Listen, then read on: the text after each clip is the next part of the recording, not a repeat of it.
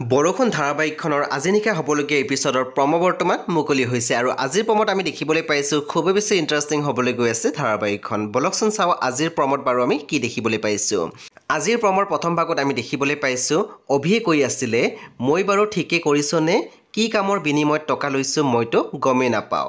তাৰপিছতে আমি প্ৰমত দেখিবলৈ পাইছোঁ দেৱযানীয়ে কৈ আছে মই থকা বাবেহে তেখেতে কষ্টত থাকিবলগীয়া হৈছিল। এতিয়া ময়ে নাই যেতিয়া ঘৰলৈ গুচি গ'লেই হ'ল। তাৰপিছতে আমি প্ৰমত দেখিবলৈ পাইছোঁ ৰত্নাই গৈ অৰ্ণৱৰ আগত কৈ আছে তাই তাতে গৰম হৈ আছে তয়ো ইয়াত গৰম হ'লে গোটেই মামলাটো গৰম হৈ যাব। তাৰপিছতে অৰ্ণৱে মাত দিছে এইটো কি মোৰ ভুল নেকি? চ' বন্ধু বান্ধৱীসকল আজি নিশা চাৰে সাত বজাত ৰং টিভিত আহিবলগীয়া বৰষুণ ধাৰাবাহিকখন খুবেই বেছি ইণ্টাৰেষ্টিং হ'বলৈ গৈ আছে চ' আপোনালোকে চাবলৈ একেবাৰে নাপাহৰিব। পৰৱৰ্তী আপডেটৰ বাবে আপোনালোকে আমাৰ চেনেলটো ছাবস্ক্ৰাইব কৰি কাষত থকা বেল আইকনটো টিপি দিবলৈ নাপাহৰিব।